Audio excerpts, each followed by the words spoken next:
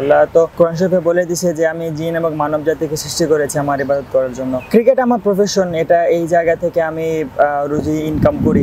আমার তো মেইন জীবনটাই তো আমার অফলাইনের যে জীবনটা। আমি পরকালে যদি আমি সাকসেস হতে না পারি তাহলে তো আলটিমেটলি আমি আনসাকসেসফুলি থেকে যাব। তানজিম হাসান সাকিব, টাইগার ক্রিকেটের জুনিয়র সাকিব মাঠের খেলায় উজাড় করে দেন নিজের শতভাগ। সেই সাথে ব্যক্তিগত জীবনে ধর্মীয় অনুশাসনও মেনে চলেন নিজের সর্বোচ্চটা দিয়ে। আমি কীভাবে নিজেকে প্রিপেয়ার করতেছি আল্লাহ, আল্লাহর জন্য? কারণ সবারই, মৃত্যুর সবারই ফেস করা লাগবে।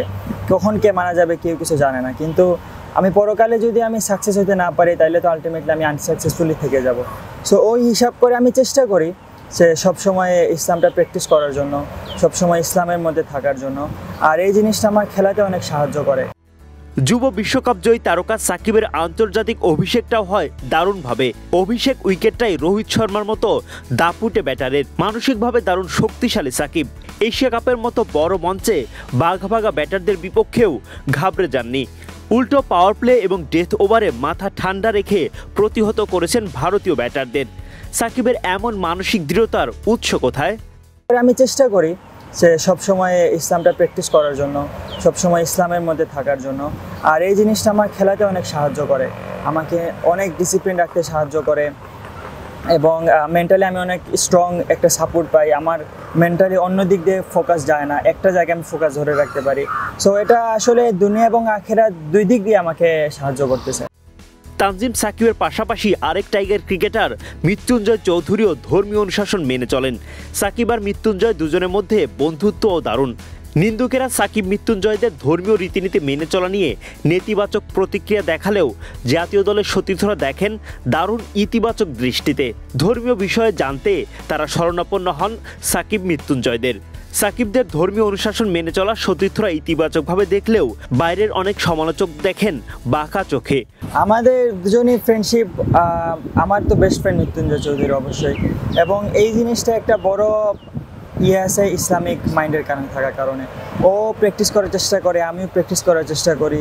তো এই জিনিসটা আমরা একে অন্যকে সাহায্য করি বা আমি আমি যদি একটু ইসলাম থেকে দূরে সরে যাই, ও আমাকে পুশ করে, ও যদি একটু দূরে সরে যায় আমি ওকে পুশ করি। তো আমাদের এটা আসলে খেলা লাইফেও সাহায্য করতেছে এবং ইসলামিক লাইফেও সাহায্য করতেছে। সত্যি তোরা কীভাবে দেখে এই জিনিসগুলোকে? ওরা খুবই পজিটিভলি নেয় এবং যখনই ওরা কোনো জিনিস না বোঝে বা ইসলামিক কোনো একটা বিষয় জানার চেষ্টা করে, তখন আমাদের দুজনের কাছেই আসে। আমরা যদি জানি, আমরা বলি, না হলে বিভিন্ন শাহের কাছ থেকে প্রশ্ন করে তারপরে ওদেরকে উত্তর দেওয়ার চেষ্টা করি। সম্প্রতি বেশ কিছু পুরনো ফেসবুক স্ট্যাটাস কেন্দ্র করে আক্রমণ করা হচ্ছে সাকিবকে। এমন সময় সাকিব পাশে পাচ্ছেন অনেক ভক্ত সহ প্রিয় বন্ধু মৃত্যুঞ্জয় চৌধুরীকেও। এক ফেসবুক স্ট্যাটাসে সাকিবের উদ্দেশ্যে মৃত্যুঞ্জয় বলেন বন্ধু তানজিদ হাসান সাকিব, তোমার হেদায়েত আমি অনেক কাছ থেকে দেখেছি এবং তোমাকে আমি আমার বন্ধু হিসেবে গ্রহণ করেছি। আমি সবাইকে আমার বন্ধুত্বের জায়গা দেই না, কারণ যে আখিরাতের জন্য কল্যাণকর নয়, সে বন্ধু হতে পারে না। বন্ধু, মনে রেখো, আমরা দুনিয়ায় কোনো মানুষকে খুশি করতে আসিনি, আমরা শুধুই এসেছি আল্লাহকে খুশি করতে। তবে আমরা ভুলের ঊর্ধ্বে নই। মৃত্যুঞ্জয় আরও বলেন, আমরা তো আমাদের দিন ইসলাম প্রচার করছি, এর বাইরে কিছুই না। তবে কি তারা বলতে চায়, দিন ছেড়ে দাও আল্লাহর কসম, হে আমার ভাইরা, তা কীভাবে সম্ভব? নিশ্চয়ই সে মূর্খ যে আখিরাতকে ছেড়ে দিয়ে দুনিয়াকে বেছে নিল। আল্লাহর কসম, দুনিয়ার সব কিছু মিলে আখিরাতের এক বিন্দুর সমান হবে না।